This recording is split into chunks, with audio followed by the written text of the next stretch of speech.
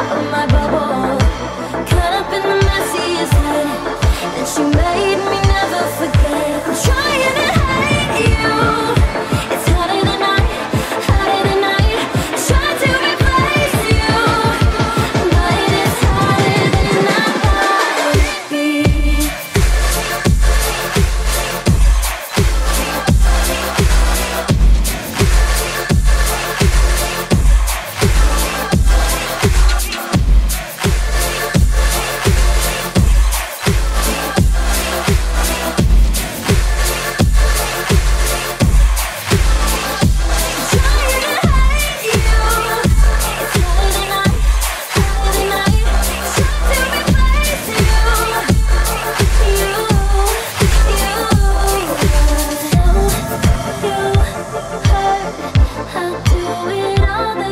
could hurt you first just to get even.